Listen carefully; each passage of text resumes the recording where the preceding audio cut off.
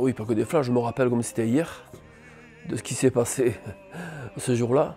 Évidemment que le temps, le temps était exécrable, il tombait de l'eau à, grands sauts. Et c'est vrai que nous étions restés euh, longtemps dans le vestiaire. On était sortis chauffer, on était revenus, on était restés longtemps, on a bu du café pour ne pas se refroidir. C'est vrai que le match avait été compliqué. L'issue du match avait été défavorable pour nous, évidemment. Quand je crois que sur cette Coupe du Monde-là, l'Afrique du Sud, c'était écrit pour qu'elle soit championne du monde avant de, on a disputé. Mais pour moi, ça reste, ça reste un grand moment.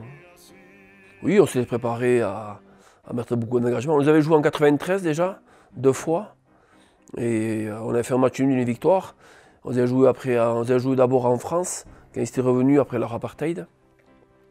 Et c'est vrai qu'on savait, on s'attendait un match, euh, un match compliqué, mais eux aussi étaient inquiets de, nous jouer, car ils nous avaient déjà joué, ils savaient que ça n'allait pas être facile. Après l'échauffement, eh ben, c'était passé. Eh à l'époque, euh, les avants ne sortaient pas forcément se chauffer à l'extérieur.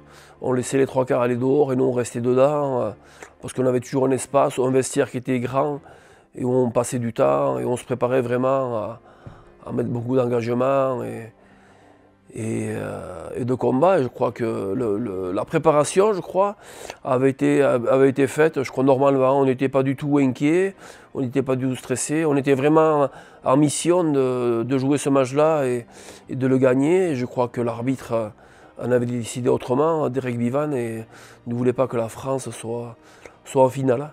Mais je crois que sur le match, on s'était fait, on s'était fait voler parce que je l'ai revu là il y a je crois qu'il est repassé sur le Guy 21 il y a un mois ou deux, je crois. Et c'est vrai qu'en regardant de nouveau les images, on s'était bien fait enfler. Mais bon, ça restera quand même un beau souvenir. Je me rappelle de, pratiquement tout ce qui s'était passé. Avant, pendant et après. Et je crois que, ça restera des moments, euh, des moments importants dans ma vie de, de joueur de rugby. Les souvenirs restent. Mais c'est vrai que cette année-là, je crois qu'on avait une équipe pour être euh, pour être champion du monde. Et, euh, malheureusement, le système nous a, fait que nous avons perdu en demi-finale. Eh à l'époque, nous à l'époque, bien sûr, on voyait qu'il y, avait des problèmes, mais on ne s'était pas forcément rendu compte de ce qui se passait avec l'arbitrage, car on était vraiment pris dans le match, pris dans, l'événement et, dans ce combat qui avait été euh, titanesque dans cette eau, euh, qui avait été impressionnante. Mais c'est vrai qu'il ne manquait pas beaucoup de points pour passer devant. Et jamais l'arbitre a accordé l'essai euh, qu'il fallait ou une séparité pour justement qu'on puisse euh, aller reste ligne et aller en finale contre les Néo-Zélandais. Après non, après le, le, match, on était vraiment en colère. Quoi. Parce que c'est vrai que le match, on aurait dû le gagner. On l'aurait joué un autre jour, avec un autre temps, un autre contexte. Je pense qu'on les bat. Sur 10 fois, on les bat 9 fois. Mais c'est vrai qu'on avait de la colère parce qu'on s'était rendu compte finalement que, que l'arbitre n'avait pas voulu qu'on gagne. Il refuse trois essais avec des, des excuses à chaque fois euh, bidons. Et c'est vrai que ça avait été, ça été compliqué.